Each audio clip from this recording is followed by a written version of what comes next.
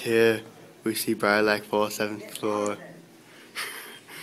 we see BriLac 474 recording a shot for his film. What's their view? Check it out. Link will be in the description when it's uploaded. Have fun.